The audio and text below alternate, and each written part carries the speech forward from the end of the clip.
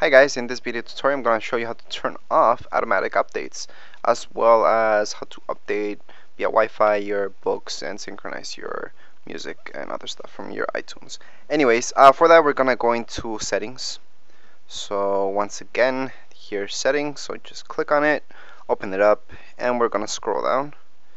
Okay, you're going to scroll down all the way down until you see iTunes and App Store. So you're going to click on that okay once you tap on that you can go downwards and here's your automatic downloads. So you can turn these off or on um, if you want your music to automatically sync with your iPhone over Wi-Fi you're good to go. Um, from here you can also set your cellular data. So if you don't want to use your data to sync up these things you can turn that off. If you have unlimited then it doesn't matter. You can just click on that. Um, for now um, my updates are actually turned off because I don't want that. I don't want my, I want to select which apps to update, not for them to just update by themselves. So I have it turned off. They're turned on once they're green, so all these are green. Um, and let's say you download an app on your iPhone and you want it on your iPad as well at the same time, then if you have this on, then it will do that. Other than that, um, you want to turn it off.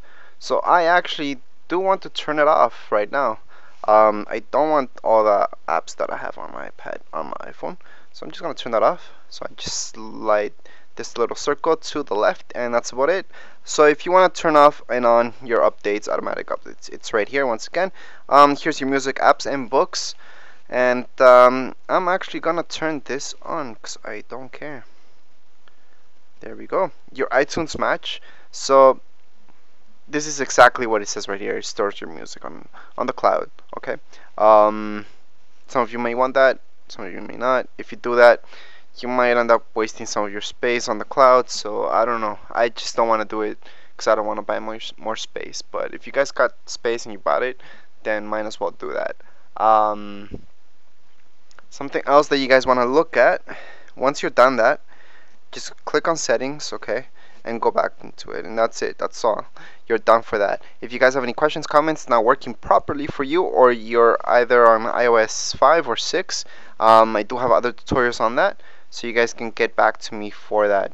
Um, that's about it for this video. Okay guys if you guys have any comments questions just write them down here and don't forget to rate and subscribe